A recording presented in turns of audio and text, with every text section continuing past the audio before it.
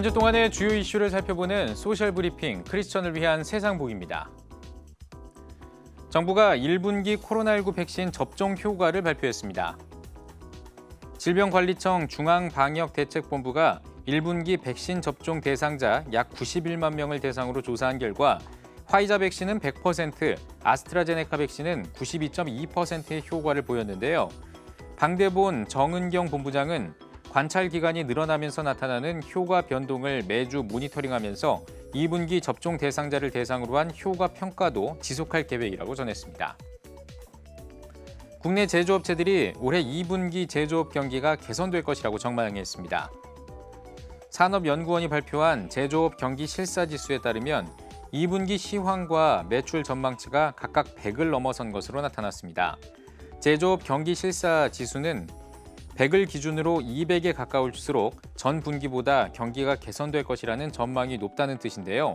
산업연구원은 2분기에는 코로나19 백신 효과 등에 힘입어 내수와 수출이 살아날 것으로 전망하면서 경기를 낙관적으로 보는 기업이 늘었다고 설명했습니다.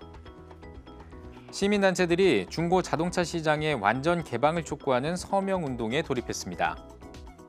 교통연대는 중고차 시장 개방 논의를 소비자 관점에서 풀어가고 기존의 후진적인 중고차 시장 거래 관행에 따른 소비자들의 피해를 방치해서는 안 된다는 취지로 서명운동을 추진한다고 설명했습니다. 주최 측은 온라인 참여운동으로 접수한 소비자들의 의견과 중고차 피해 사례를 중고차 시장 개방과 관련된 주무부처인 중소벤처기업부와 국회에 전달할 계획입니다. 미얀마 사태가 더 나빠지면서 미얀마 경제가 큰 타격을 입을 것으로 보입니다. 세계은행은 올해 미얀마에서 하루 생활비가 3.2달러에 못 미치는 국민이 30% 늘어나고 1년 사이에 빈곤층이 약 180만 명 증가할 것이라고 내다봤는데요.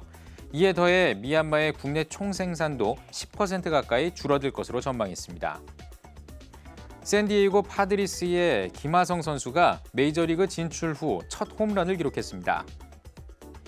텍사스 레인저스와의 경기에서 9번 타자 겸 유격수로 선발 출전한 김하성 선수는 2대 3으로 뒤진 5회 초 선두 타자로 나서 솔로 홈런을 때려냈습니다.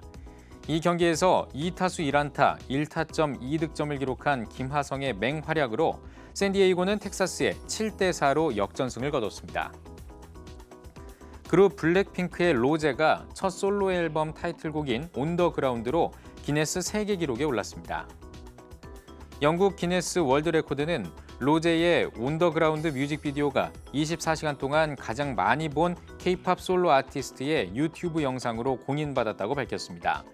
또 로제는 솔로와 그룹으로 모두 미국 빌보드 글로벌 차트 1위를 차지한 최초의 아티스트라는 점도 인정받았는데요. 기네스 월드 레코드는 솔로 아티스트로서 세운 커리어의 시작이라고 평가했습니다. 지금까지 소셜 브리핑 크리스천을 위한 세상보기였습니다.